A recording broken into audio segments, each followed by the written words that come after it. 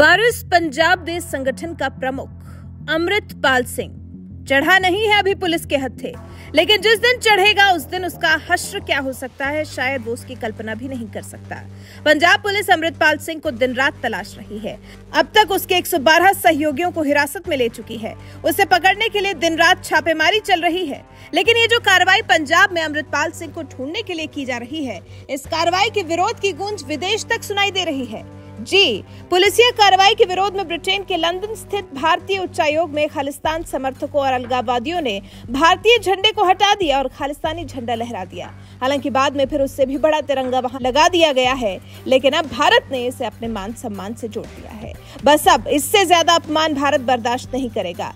Britain का जो भारत का विरोध करने वालों पर ढुलमुल रवैया है ना भारत उसका जवाब मांग रहा है। ब्रिटेन की सरकार पर अब भारत आग बबूला है।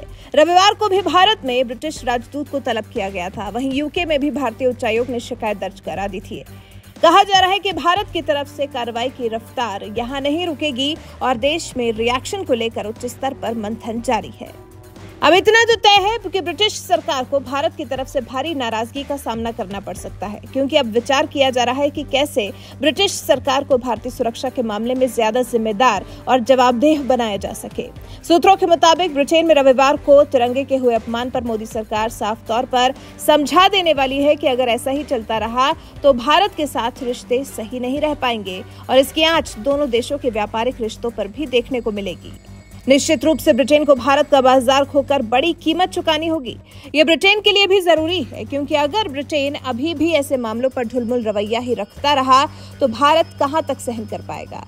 वो कहीं पर भी अपने देश का अपमान सहन करने के लिए तैयार नहीं हो सकता। रविवार को उच्चायोग के बाहर हुए प्रदर्शन का मुख्य सूत्रधार अवतार सिंह खाड़ा को माना जा रहा है। खास बात यह है कि अवतार का पिता कुलवंत सिंह खुकराना खालिस्तानी लिबरेशन फोर्स का आतंकी था, जो गुरमीत सिंह बुखावाला के ज़रिए फंड पहुंचाता था। इस पर भी जब ब्रिटेन सरकार ढिलाई बरते हुए है तो फिर अब भारत को सख्ती करनी ही पड़ेगी। ये इसलिए भी अब ज़रूरी हो गया है क्योंकि पहला मौका नहीं है जब ऐसा कुछ भारत के खिलाफ ब्रिटेन में हो रहा है और इस पर ब्रिटेन सरकार चुप्पी साधे बैठी है। बल्कि इससे पहले भी साल 2019 में भारतीय उच्चायोग के बाहर हुई एनटीसीए और कश्मीर विरोध प्रदर्शन का मुद्दा केंद्र की नरेंद्र मोदी सरकार उठा चुकी है। लेकिन फिर भी अक्सर मोदी सरकार के खिलाफ यहाँ नाराज़गी बढ़ती ही देखी गई है।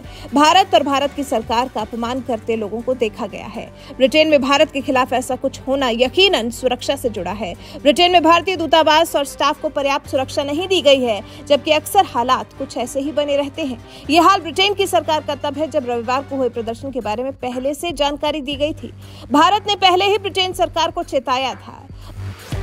भारत की नरेंद्र मोदी सरकार की तरफ़ से एम आई समेत कई जगहों पर पहले ही रविवार को होने वाले प्रदर्शन के बारे में जानकारी दे दी गई थी। साथ ही इसकी अगुवाई कर रहे नेता के बारे में भी बता दिया गया था। लेकिन ब्रिटेन सरकार का रुख देखकर लग रहा है, जैसे सिख अलगाववादियों को लेकर ब्रिटेन की मौजूदा सियासी व्यवस्था सहानुभूति रख रही है और भारतीय सुरक्षा को लेकर ढुलमुल रवैया अपना रही है। अब लंदन में भारत का स्टाफ खुद को भला कैसे सुरक्षित महसूस रख पाएगा? खालिस्तानी नेताओं पर कार्रवाई यहाँ होगी और वहाँ भारतीय दूतावास में काम कर रहे लोगों की जान पर बनाएगी रविवार की तरह।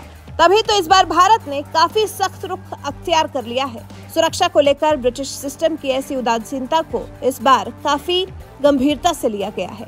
वैसे ब्रिटेन पर मोदी सरकार के सख्त एक्शन पर ब्रिटेन में हुए हिंदुस्तान के तिरंगे के अपमान पर, फिर मोदी सरकार के ब्रिटेन सरकार को लगाई गई क्लास पर आपका क्या कुछ कहना है? अपनी राय हमें कमेंट कर ज़रूर बताएँ।